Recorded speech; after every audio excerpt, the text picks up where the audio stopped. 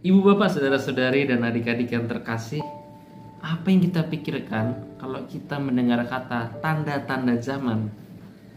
Pasti kita akan memikirkan satu dua hal Ataupun lebih tentang apa sih maksudnya tanda-tanda zaman itu.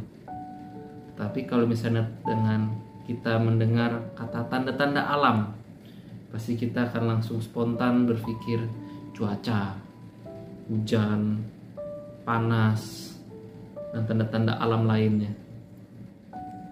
Kaitannya adalah dalam kitab suci pada bacaan hari ini kita melihat dari Lukas 12 ayat 54 sampai 59 di mana Yesus mengatakan kalau kamu melihat angin naik di sebelah barat segera kamu berkata akan datang hujan dan hal itu memang terjadi dan apabila kamu melihat angin selatan bertiup, kamu berkata, hari ini akan panas terik. Dan hal itu memang terjadi. Tetapi bukan hal itu yang ingin Yesus tekankan. Bacaan Injil pada hari ini ingin menekankan bahwa Yesus mempertanyakan, mengapa kamu tidak dapat menilai zaman ini? Tentu arahnya adalah tanda-tanda zaman. Tetapi apa maksud Yesus mengatakan tanda-tanda zaman? Tentu arahnya adalah suatu pertobatan yang dilakukan oleh semua manusia. Pertobatan adalah bentuk berjaga-jaga sebagai upaya dalam menghadapi tanda-tanda zaman supaya mendapatkan keselamatan pada akhir zaman.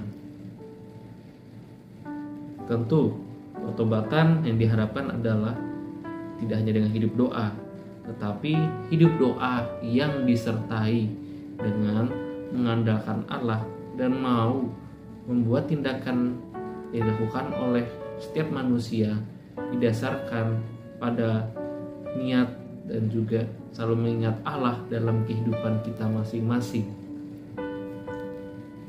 Terkadang kita tidak peka dengan tanda-tanda zaman. Kita hanya fokus dengan apa yang kita hadapi. Mungkin dengan perkembangan zaman yang kita hadapi, perkembangan teknologi, perkembangan hal-hal lainnya yang sangat relevan, yang mungkin sangat cocok dengan eh, aspek kehidupan yang kita hadapi. Tetapi tanda-tanda zaman kita diajak juga untuk mengingat Allah bahwa kita beriman kepada Allah dengan tujuan supaya kita mendapatkan keselamatan. Jangan sampai kita hanya fokus pada hal duniawi tetapi kita melupakan Allah. Mungkin jarang berdoa mungkin bisa menggunakan berbagai alasan untuk tidak berdoa dan kesibukan kelelahan dan lain-lainnya. Tapi dengan mencoba untuk mau berdoa kepada Tuhan kita mau mengusahakan, mau memaknai bahwa tanda-tanda zaman itu yang masih menjadi misteri dalam kehidupan kita bisa berguna bagi kita semua supaya kita nantinya bisa mendapatkan keselamatan yang Allah berikan dalam kehidupan kita.